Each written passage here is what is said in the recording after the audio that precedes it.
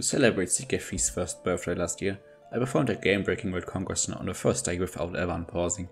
As you might imagine, this required a strategy consisting of completely game-breaking exploits, and the gameplay was very far removed from normal Crusader Kings. I uploaded on YouTube back then, and it has since gotten over 10,000 views. Because it is my most viewed video where an explanation would make sense, looking at you any percent runs, I'm making this to experiment with scripted explanation videos. Without further ado though, let's actually explain the strategy of the run. The strategy mainly consisted of two exploits. Let's look at them separately before combining them to the final strategy. First off is the Education Grant exploit. It was first publicly showcased in a video on the 28th of June 2021 by Kings YouTuber OneProudBavarian. The very next day it was patched out of the game. I actually never seen this script before or since. So, what was so special about this exploit that made the developers act so quickly? Basically, it made it possible to vassalize most of the world without ever even pausing the game. Sounds crazy, it is. The way it worked was like this. If you hand yourself or one of your children over to a foreign ruler as a ward, you could grant that educator as a vassal to somebody. Why this worked, I honestly have no idea, but it did. I started planning a super fast world conquest the day the exploit was shown, but after it was patched immediately, I lost motivation to plan an optimized run, and gave up my plans. About a month later, on the 23rd of July, Crusader Kings legend Sandwich 8 sent me a new exploit he found on Reddit. Reddit user u slash Bennett Luck had seemingly discovered a way to switch characters in Iron Man with achievements enabled. In contrast to the Education Grant exploit, the character switch stayed in the game for far longer. It was finally patched in 1.5.1 after developers already tried to an original 1.5 patch.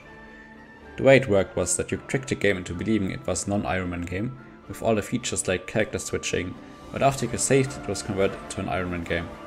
This game state is called Schrödinger's Iron Man. The original setup used in the run was entered by clicking on a wall when selecting your character, then pressing enter to start the game.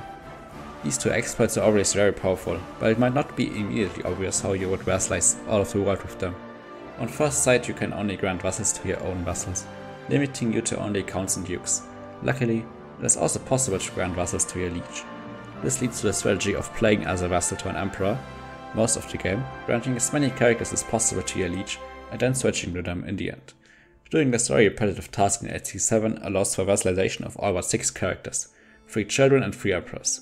Let's look how to deal with the children first. Luckily, all of the children in 867 are counts and can be completely conquered by their neighbors on day 1. This is the reason I played in 867. Because there are more children in HC6, some of which are kings, this wouldn't be possible. Doing this, you will game over 3 times. You might that the save file would be somewhat destroyed by game overing, but luckily that isn't the case.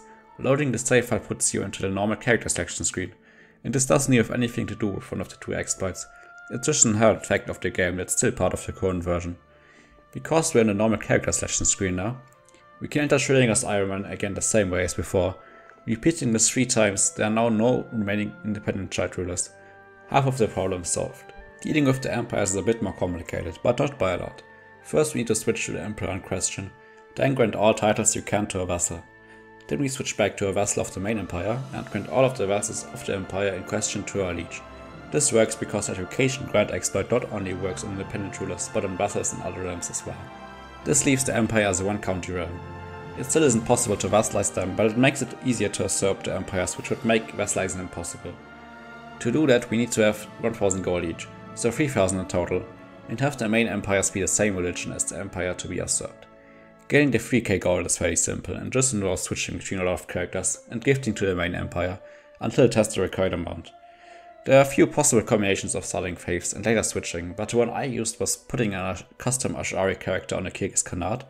It has to be the Kyrgyz Khanate by the way, because the empire title doesn't have any land associated to it and so can't be usurped.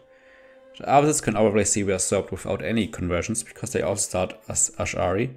Khazaria was usurped by them converting to Ash'ari, and the Byzantines by the main empire converting to Orthodoxy.